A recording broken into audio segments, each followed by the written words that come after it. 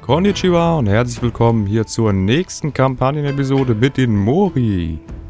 Auf legendär gegen die Amako mal wieder, ich schätze mal gegen ihre letzte Armee. Die sind ja schwach charakterisiert worden. Die ist uns leicht überlegen, wie ihr sehen könnt, leicht. Aber ich setze auf die Erfahrenheit meiner Krieger und meine Taktik, die ich bisher angewandt habe, sowie hm, ich weiß, wie ich mit der KI umzugehen habe. Das Problem wird aber sein, sie greift mich an. Ich bin immer noch am überlegen, ob ich mich nicht doch zurückziehen sollte und selber angreifen soll. Wobei ich mir ganz im Klaren darüber sein muss, dass das wieder andere Konsequenzen mit sich zieht. Das ist eine sehr interessante Entscheidung. Weil wir sind hier wirklich auf Messers Schneide unterwegs, auf Legendär. Das heißt, wir haben keine Möglichkeit, uns nochmal zu entscheiden. Amako Yoshihisa. Also ich habe faktisch gesehen auf jeden Fall weniger Truppen von beiden Typen. Sowohl von Bogen als auch von Yari. Ich bin lediglich im General. Ich habe zwei da, aber wie gesagt, es ist ziemlich gefährlich. Ich muss auf jeden Fall eine Position finden, aber mir macht es Sorgen, dass er so viele Bogenschützen hat. Das macht mir richtig Sorgen.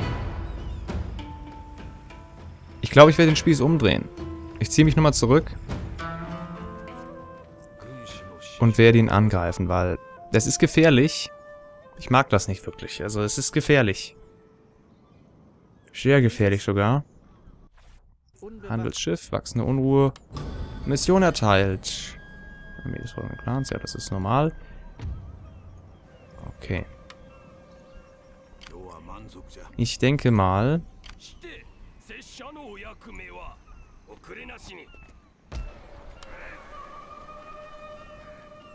denke mal, ich werde ihn belagern.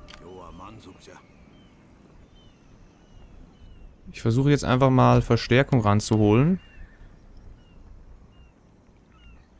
Oh, aber ich glaube, da stehe ich im Weg. Geh mal ein Stück da weg. Ah, ich leg mal einen Hinterhalt. Genau. Ich leg einen Hinterhalt, schick eine Finte vor und lass ihn angreifen.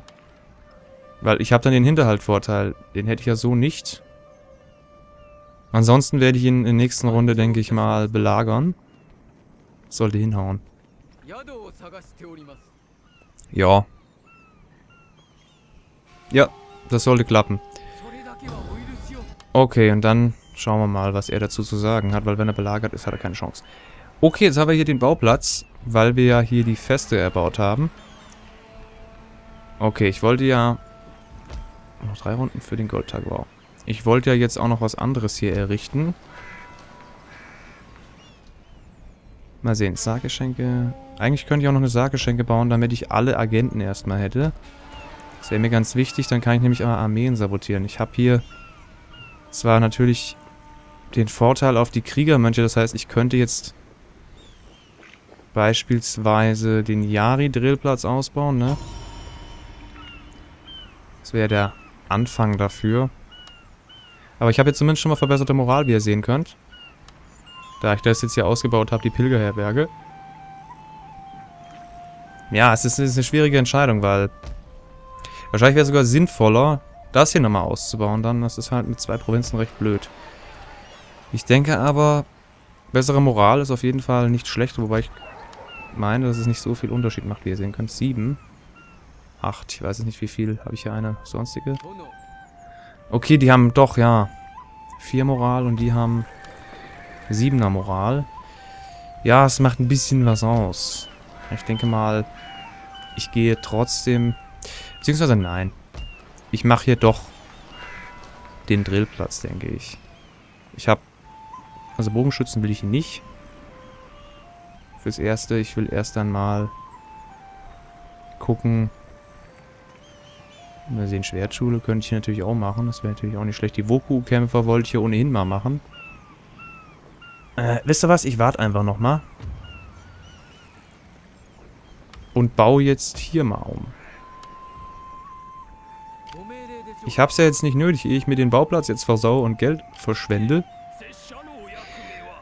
Mal sehen, ich könnte den hier noch dazu bringen, mhm. um ihn besser zu schützen, aber es bringt eigentlich nichts. Das kann ich hier noch... Nee, Siedlung beschränken kann ich nicht. Ich gehe einfach mal weiter mit ihm. Gucken, was hier noch so vor sich geht.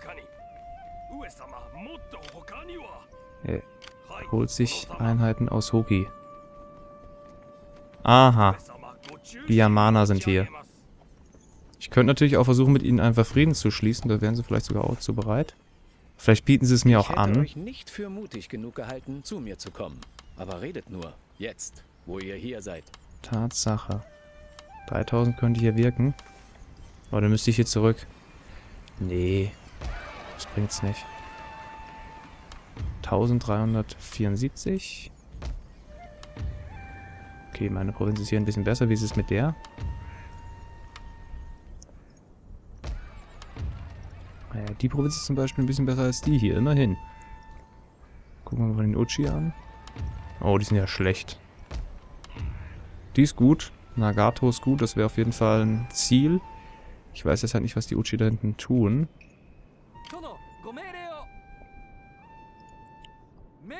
Das müssen wir jetzt mal ganz davon abhängig machen. Feste und die Pilgerherr. Ja, das ist bekannt. Der sollte ja da bleiben. Ja. Genau.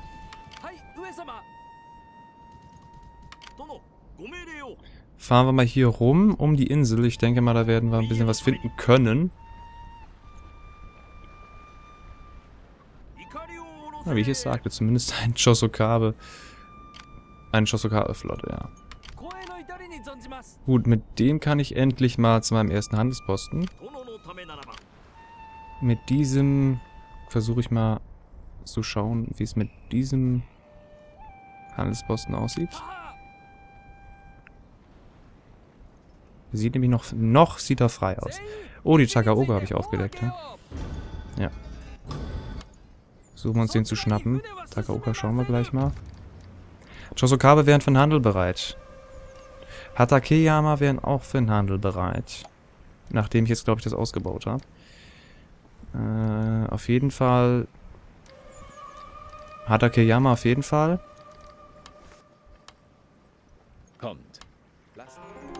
Damit war es das auch erstmal wieder. Yamana, machtlos, machtlos. Die dürfen mich aber eigentlich in Ruhe lassen. Historische Freundschaft. Ja. Sogo, unwichtig. Satomi, warum habe ich die schon aufgedeckt? Warum? Wollte ich eigentlich nicht. Satake habe ich auch schon aufgedeckt. Verdammt. Zum Glück habe ich noch die Hojo und so weiter aufgedeckt. Dann bin ich jetzt doch ein bisschen weit gefahren. Macht aber nichts. Wir sind immer noch gut in der Zeit und gut auf dem Weg, finde ich. Okay, eine risky Angelegenheit. Aber sie ist nicht unmöglich. Der kann da bleiben. Ich schätze mal, dann war es das für diese Runde. Ich wüsste jetzt nicht, was... Wie gesagt, hier... Vielleicht gehe ich noch ein bisschen weiter in den Wald, aber bin ich zu weit im Wald. Kann es sein, dass er nicht mehr in meinen Weg geht. Ich hoffe mal, dass er hier versucht, er denkt, ach ja, hier meine drei Einheiten, die kann doch schön angreifen, wäre eigentlich ganz nett. Ansonsten, ich wüsste jetzt nichts mehr. Ich versuche mich immer nochmal zu ermahnen, dass ich nochmal an irgendwas denken könnte, aber ich sehe hier nichts, wie ihr sehen könnt, was mir persönlich jetzt wirklich helfen würde. Ich meine, die, okay, die Satake und Satomi wären vielleicht, wartet kurz. Ja, mit den Satomi, die haben noch keine negativen Beziehungen. Ich höre euch zu. Wenn ihr ehrlich gesprochen habt, wollen aber keinen Zugang haben. Okay, wollen wir nicht. Bündnis wollen sie auch nicht. Ah, okay. Die wollen weder Zugang haben, die sind nur an meiner Geisel interessiert. Nee, dann macht es eigentlich keinen Sinn mit denen. So, man ist Attacke nochmal. Ein unerwartetes Treffen kann sich im Nachhinein als begrüßenswert erweisen. Lasst uns sehen, wie sich dies hier erweist. Die würden ein Bündnis machen für die Geißel. Zugang wollen sie aber keinen haben. Das ist ehrlich gesagt ein bisschen heikel. Den Geiseln. Obwohl, ich habe ja dann noch eine Takage. Takakage. Dann kriege ich die andere zurück. Fünf Jahreszeit. Ich denke nicht, dass bis dahin irgendwas Schlimmes passiert. Ansonsten hätte ich ja noch einen Erben. Und das ist der Takamoto. Und der hat ja auch schon eine Frau. Das heißt, sie sollten auf jeden Fall bald mal Kinder kriegen. Mehrere am besten. Ja, aber ich sollte schon ein Bündnis machen. Ich weiß nicht, das könnte ganz nützlich sein im Osten. Wollte ich ohnehin. Ich weiß nicht, ob es ein bisschen zu früh ist. Die Shatake. Das Problem ist, wenn die angegriffen werden, werde ich in die Beziehungen mit einbezogen. Deswegen bin ich da noch ein bisschen skeptisch. Die sind miteinander verbündet. Das ist ja gut. Wenn das Bündnis aber bricht, kann es sein, dass ich damit einbezogen werde. Deswegen habe ich da irgendwie wirklich Bedenken. Die haben die Uesugi als Feinde. Die habe ich noch nicht aufgedeckt. Und die Mogami auch. Die Satomi wären da besser, weil die sind nicht mit denen da zusammen und die haben generell gute Beziehungen. Versuche ich es doch erst einmal mit den Satomi. Sprecht deutlich. Mit Ehrlichkeit und Klarheit werden Verhandlungen vorangetrieben. Die sie mir irgendwie sympathischerweise unabhängiger sind. Wollen mir kein Geld geben? Wirklich nicht? Mein Gott. Das wollen sie nicht.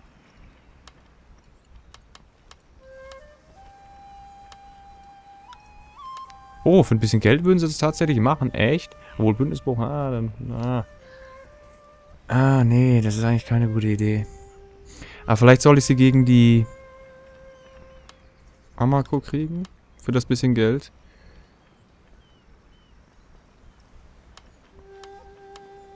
Zugang wollen sie nicht. Okay, ein bisschen Geld würde sie dazu bringen, gegen die Amako noch zu ziehen.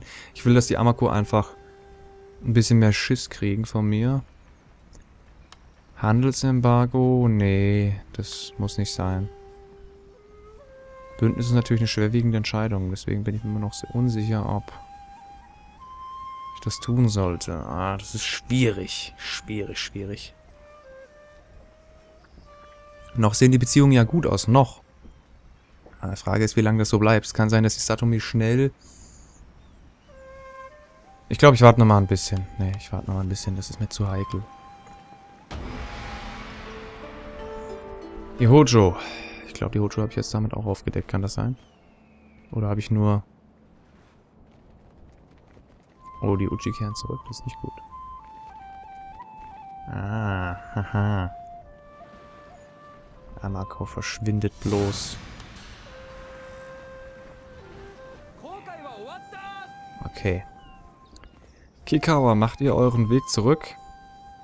Ja, man würde es sehen. Ich schätze mal, jetzt kommen wir in die Schlacht. Die Gelegenheit ist nicht schlecht.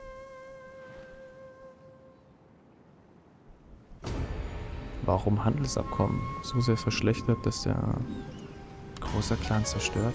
Mori Takakage. Großer Clan Oda. Wie kann das sein?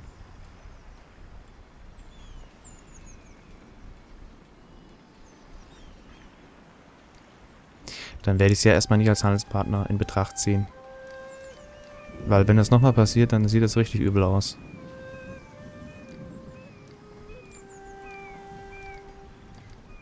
Ich nehme erstmal die Chosokawa, auch wenn ich nicht so viel kriege. Die haben relativ humane Beziehungen, finde ich. Gut, die Hadakeyama sind zweifelsohne besser, aber ich will nicht, dass die Beziehungen sich verschlechtern. Minus 18 ist sollte nicht sein. Sollte echt nicht sein. Satome geht ja nicht. Shoni halte ich auch für keine gute Idee. Dann versuchen wir es mit den Josokabe, wenn sie denn wollen. Wollen sie nicht. Schade. Mal sehen. Dann vielleicht doch Satake.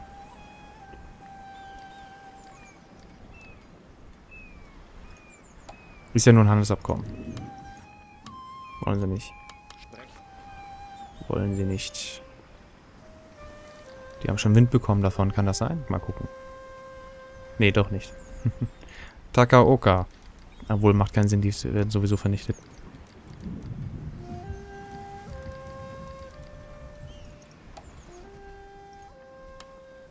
Inakzeptabel.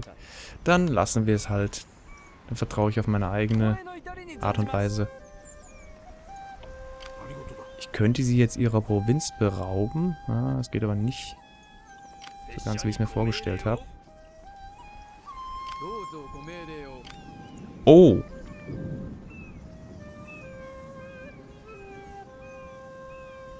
Katanas. Das ist nicht so gut. Mein Hinterhalt hat auch nicht wirklich funktioniert, weil er nicht auf dem Weg lag. Das ist das Problem. Oh wei. Das ist genau das, was ich vorhin gemeint hatte.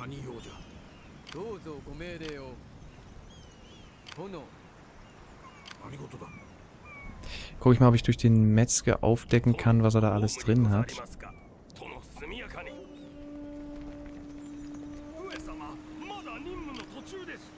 Stechen geht auf jeden Fall nicht.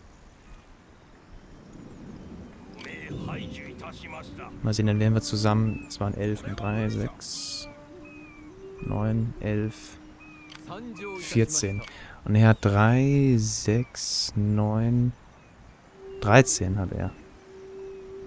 Okay. Aber er hat eine Katana hier. Ich weiß nicht, ob das die einzige ist. Ich hoffe mal, das ist die einzige. Ich bin mir jetzt nicht ganz sicher. Wobei, er konnte in der kurzen Zeit eigentlich nur eine rekrutieren. Ich glaube, jetzt müssen wir angreifen. Wir haben keine Wahl.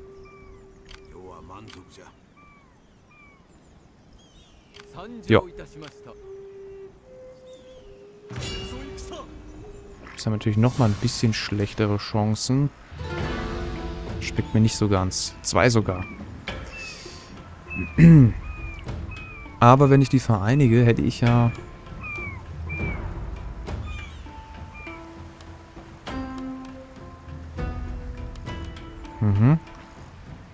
Das war halt unnötig hier. Das... Aber jetzt greife ich ihn an. Das ist eben das, was ich vorhin gemeint habe. Das ist ein kleiner Vorteil, weil wenn er mich angreift, ist das durchaus verheerender. Mal sehen. Nachtangriff würde bedeuten, dass ich keine Unterstützung habe. Also bringt mir das gar nichts. Dann machen wir es so.